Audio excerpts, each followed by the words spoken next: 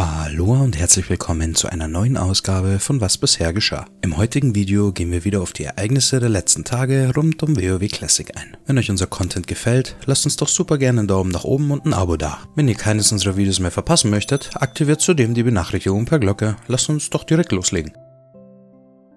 In der vergangenen Woche gab es einen Post auf Reddit, in welcher ein Raid aus 40 Druiden vor dem besiegten Ragnaros standen. Kurz darauf kam ein ähnlicher Post nur mit 14 Paladinen und nach etwas Recherche ist wird auch tatsächlich auf eine Gruppe Schamanen gestoßen, welche ebenso den Mortencore geklärt. Und warum ist das Ganze jetzt so nennenswert? Naja, wie wir alle wissen, können alle drei Klassen zwar Tank, DD und Heiler abdecken, aber halt auch nur zu einem bestimmten Grad. Die beiden besten Beispiele sind hier der Tank Paladin und vor allem der Schamanentank.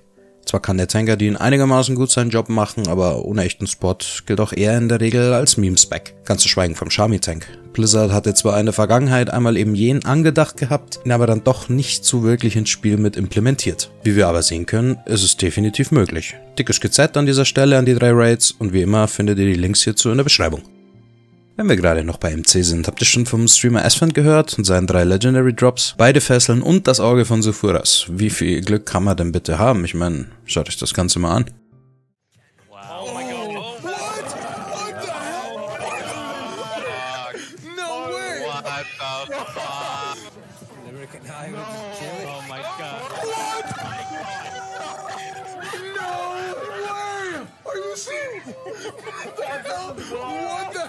Just happened?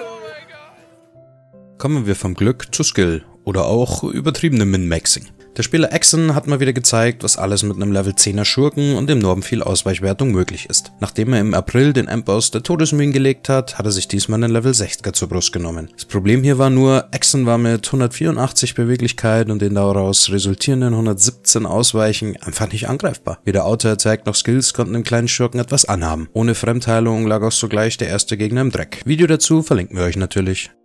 Weiter geht's mit einer lang ersehnten Nachricht. Am 28. Juli bzw. zur neuen ID am 29. Juli wird auf die europäischen Server der Patch für Phase 5 aufgespielt. Dann beginnt das große Event rund um die Öffnung der Tore von Ankirai. Je nachdem wie gut organisiert euer Server und wie ambitioniert einzelne Spieler sind, werden sich die beiden neuen Raids innerhalb weniger Wochen öffnen. Alle Informationen rund um die Öffnung, die neuen Raids und Fraktionen inklusive Rezepte sowie alles andere, was mit P5 neuen Spiel implementiert wird, findet ihr in unseren dazugehörigen Videos. Auch hier wie immer Links in der Beschreibung. Wenn wir jetzt noch fix die Timeline der Vanilla-Veröffentlichungen und auch den bereits entstandenen Vorsprung dazu in Betracht ziehen, können wir mit Phase 6 und Naxxramas zu Beginn des neuen Jahres 2021 rechnen. Das Ganze entspricht natürlich nur unserer Theorie, wobei wir mit dem 10.8. für Ankirai bis auf zwei Wochen gar nicht mal so schlecht gelegen haben. Kleine Notiz noch am Rande, falls ihr euch vollgepackt mit Mats für den Scarabeus Lord auf einen nicht so vollen Server transferieren wollt, Blizzard hat eine 90-Tage-Sperre für frisch transferierte Charaktere gesetzt. Ihr könnt zwar alle Quests machen,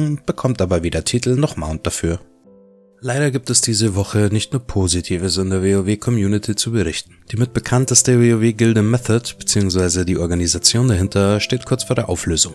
Nachdem in den letzten Tagen immer mehr Anschuldigungen gegen einige Mitglieder zutage kamen und Method diese anstelle zu unterbinden oder sich von denjenigen zu distanzieren, angeblich über Jahre gedeckt hat, trennen sich immer mehr Sponsoren und Partner von der Organisation. Angefangen hat das Ganze mit Vorwürfen der sexuellen Belästigung des Spielers Josh vor Jahren und nun kommen immer mehr Details wie eben die Deckung dieser Handlung von Method und weitere Vorwürfe des unsittlichen Verhaltens von Spielern an Fans ans Licht. Inzwischen haben sich Mitglieder wie die Streamer Esfand, Tips Out und Payo von Method distanziert. Ebenso wie deren langjährige Geschäftsführerin Shanna Derry Roberts. Ob und wie Method bestehen bleibt, lässt sich aktuell nicht sagen und ist nur sehr schwer vorhersehbar. Zum Schluss müssen wir euch leider noch vom frühzeitigen Ableben einer WoW-Legende berichten. Der Streamer Byron Rackful Bernstein war unter anderem dafür bekannt, als erstes die 3000 Arena-Punkte-Marke geknackt zu haben, sechsmal hintereinander Platz 1 in der PvP-Season geworden zu sein und 2010 das Major League Gaming WoW-Turnier gewonnen zu haben. Am 2. Juli wurde er von seinem Mitbewohner leblos in seinem Zimmer gefunden. Die Ursache hierzu ist noch nicht offiziell, allerdings wird von Selbstmord ausgegangen. Danke für alles, was du für die WoW-Community über die Jahre hinweg getan hast. Mögest du in Frieden ruhen.